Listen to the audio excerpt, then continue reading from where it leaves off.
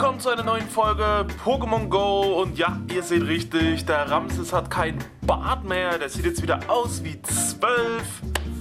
Und ja, das Video ist jetzt aus gegebenem Anlass zum Barschwa-Event. Da möchte ich noch kurz ein Feedback dazu geben, also mein Fazit, wie ich das Event fand, was ich so gefangen habe, was ich nicht gefangen habe, die Highlights und ihr werdet äh, die nächsten Tage dann noch ein paar Videos sehen, ältere Videos, wo der Bart wieder dran ist, also nicht wundern, denn ich hatte schon ein paar Sachen vorbereitet, aber es kommt ja immer zu einem Event nach dem nächsten und da muss man immer zu up-to-date sein. Deswegen ja, fangen wir einfach mal an. Wie fandet ihr denn das Barschwa Event? Das war ja das erste Mal, dass sowas da war, dass ihr also nicht wie beim Community Day rumlauft und überall die Viecher sitzen, ihr sie antippt und die Chance auf Shinies habt, sondern ihr musstet Stops drehen und Aufgaben an den Stops lösen, bis man dann als Belohnung immer ein Barschwa bekommen hat, aus der Forschung sozusagen und das eben Shiny sein konnte. Jetzt hatte ich so einen Bammel vor dem Tag, habe mir öfters ins Höschen gemacht, weil an den Community Days war das eigentlich immer eine richtig gute Ausbeute. Wenn es mal wirklich schlecht lief, hat man vielleicht so 4, 5, 6 Stück gehabt. An guten Tagen mal 10 bis 14. Also da ging es schon immer richtig ab und es hat natürlich Spaß gemacht, in der Gruppe rumzulaufen, Shiny zu rufen, wenn man was hat. Alle waren gespannt, alle haben sich immer gefreut. Aber beim Barschwartag muss ich jetzt schon sagen, fand ich es richtig assi. Es war richtig kacke. Ich meine, schön, dass Niantic sich immer neue Sachen einfallen lässt und den Leuten was bieten möchte. Aber die muss man ja nicht immer gut finden. Ich hoffe, solche Events werden nicht nochmal kommen oder nicht so oft kommen. Da gönne ich mir lieber diese Raid-Tage, wo an allen Arenen äh, Viecher sitzen, die ihr als Shiny bekommen könnt, wie bei Gengar-Tag oder Lavados, Arctos, Zapdos. Oder eben diese normalen Community Days haben für mich viel mehr Anreiz, da auch dieses Gruppenspielen und der Gruppenaspekt besser umsetzbar ist. Ich habe sehr erlebt, wir sind rumgelaufen und haben dann einfach, äh, der eine hat die Aufgabe gehabt, der andere die, der andere die.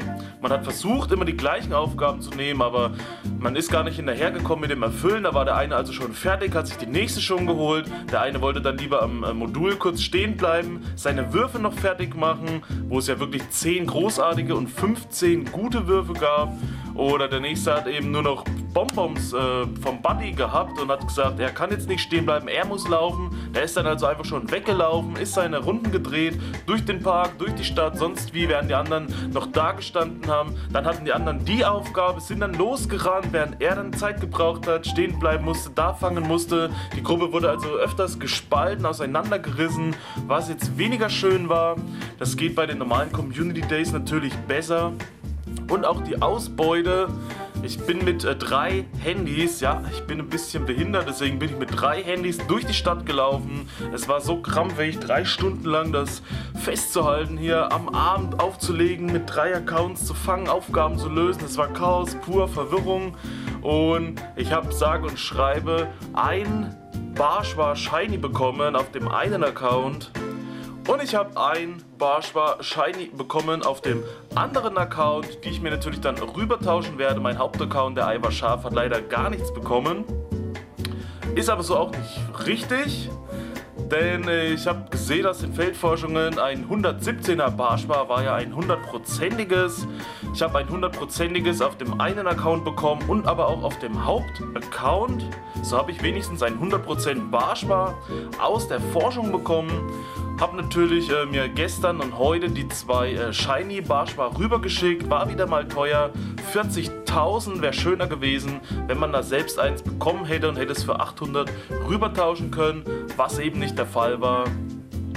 Dann habe ich, als ich weitergelaufen bin, das war nämlich nicht mein Highlight, ich meine zwei Shiny Barsch war im Endeffekt und ein äh, 100er sind ja eigentlich ganz cool, aber es gab ein ganz anderes Highlight und da meine ich jetzt nicht das Shiny Stolunior, was ich auf dem Weg noch mitgenommen habe. Ja, auch ein Shiny Stolunior gab es nämlich, ganz überraschenderweise.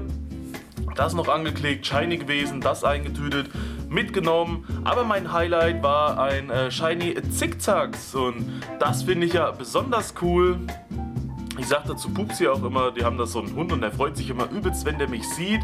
Und der ist, der liegt eigentlich immer noch rum und schläft und macht den ganzen Tag nichts und ist total, naja, Banane. Aber wenn ich komme und wenn der mich sieht, da hüpft er immer durch die Gegend wie wild und rastet komplett aus. Deswegen habe ich gesagt, Zickzacks normal ist, wenn der Hund normal ist und Zickzacks shiny ist dann, wenn ich in den Raum komme und da rastet er aus, da funkelt er und glitzert in alle Richtungen.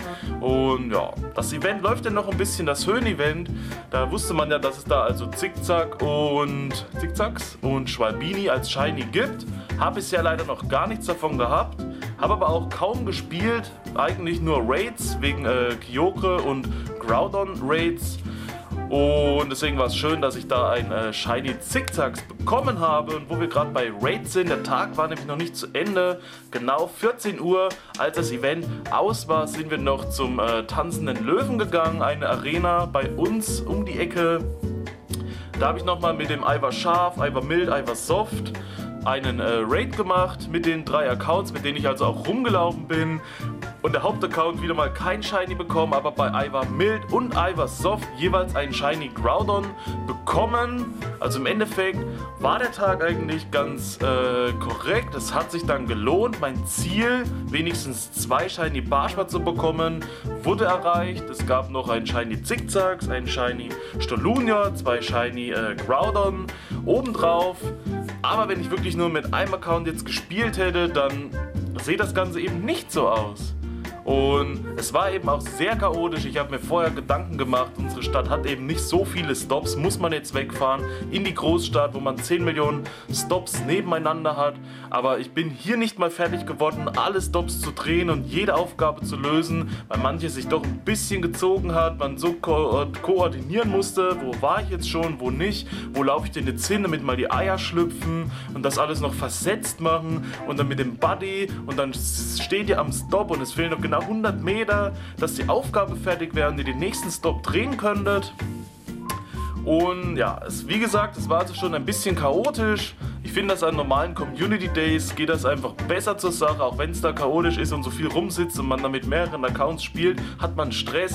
Trotzdem macht es einfach mehr Spaß und hat mir persönlich auch besser gefallen als der Barschbar-Tag. Deswegen sage ich es nochmal, ich hoffe, dass sowas nicht so oft vorkommt, denn im Gegensatz zu den Community Days war also nicht nur bei mir, ich habe es auch bei vielen anderen gesehen, die Ausbeute wirklich nicht so krass. Selbst bei Facebook habe ich durchgeguckt, so viele berichten, dass sie wirklich gar keins bekommen haben, so viele Aufgaben gelöst, kein Shiny bekommen, kein Barsch war, gar nichts dabei oder manche haben vielleicht eins bekommen und waren darüber trotzdem traurig. Und ja, bei den Community Days ist das eigentlich nicht so. Da gibt es eigentlich selten mal Leute, die wirklich leer ausgehen in diesen drei Stunden. Deswegen lieber Community Days und lieber äh, Raid-Tage, wie bei den äh, legendären Vögeln, Arctos, Zapdos, Lavados. Aber diese Stop-Drehtage muss ich jetzt nicht unbedingt haben. Kann bei euch natürlich wieder anders sein. Wie ist eure Meinung dazu gewesen? Wie fandet ihr den Barschbar-Tag? Hat er euch Spaß gemacht? Wo seid ihr so unterwegs gewesen? Wie viele Quests habt ihr denn ungefähr gelöst? Und habt ihr einen Shiny Barschbar bekommen? Gab es vielleicht auch andere Shinies bei euch? Und habt ihr schon einen Shiny Groudon oder Kyogre bekommen? Jetzt während des Events? Schreibt es mal in die Kommentare. Das war's von meiner Seite aus und wir sehen uns einfach beim nächsten Mal. Bis dahin, Peace out, Vorhaut, euer Ramses.